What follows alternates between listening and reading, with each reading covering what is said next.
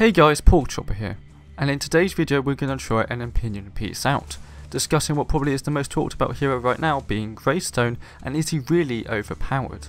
Before I go any further, I would like to state again this is my opinion, and I will be looking at both sides, why people think he is too strong, why people think he isn't and how to counter him, and also my experiences with Greystone.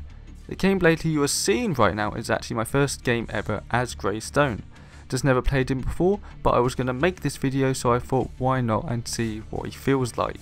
Also do comment down below what you think of Greystone right now, is he too strong or is he fine and tell me why.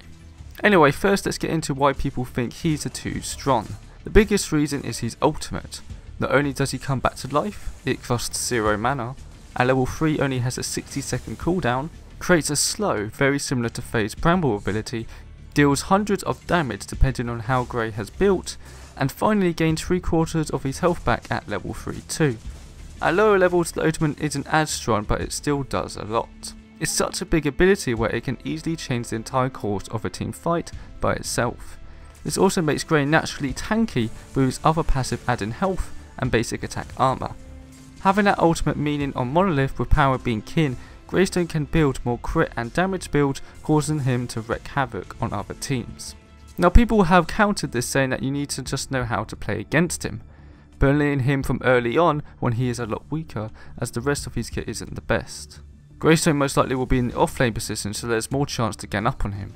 But this requires a lot of teamwork especially for solo queue and if the Greystone is good player then you're in trouble. Once he hits level 5 he can be a lot more comfortable being aggressive now his ultimate is online. There are multiple heroes however that do counter Grey sort of well.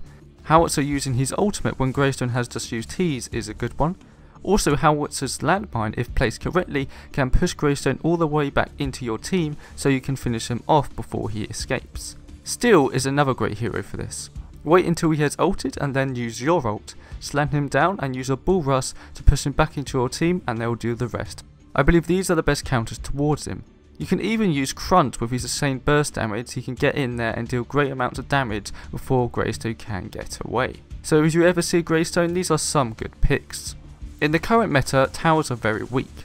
At least now you need your minions to take down a tower, but still tower diving is a big problem and no one can do it better than Greystone. He can simply walk in taking multiple hits while slaying an early game carry. Trust me, I've been there and it sucks.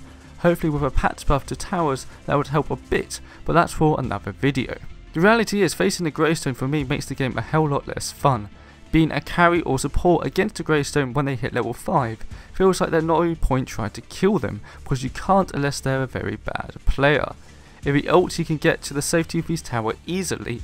This goes into the late game too when now he's a lot harder to kill. The effort just to get Greystone to use his ultimate isn't really worth it I honestly just ignore dealing damage to him. I have seen too many times catching a Greystone off guard for him to ult and then the rest of his team to back him up, just for him to come back a minute later to have his ultimate again. He's generally a pain to play against. So overall I just feel he's a bit too good at everything. He sells it so much while being very easy to play with a simple kit, so a lot of new players can pick him up and do rather well, although it'll be teaching them bad habits. The gameplay I hope proves this. My first game ever with him and I felt more relaxed not having to worry about overextending so much you don't get punished. Trying to be tanky in this meta is very hard and Greystone does this naturally, so he is the best tank while being able to add crit and damage so he can deal damage similar to a carry, which is more than any fighter in the game can do now, while still having good CC so he can wave clear fine too. Now what can be done about him?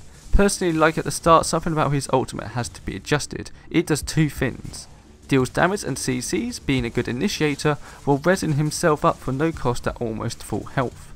One of the buff has to be adjusted.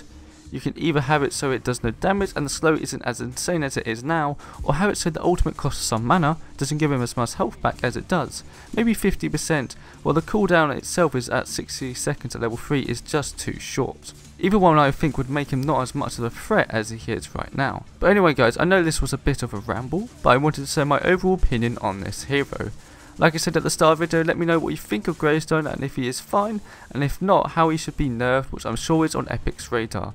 And I'll see you next time.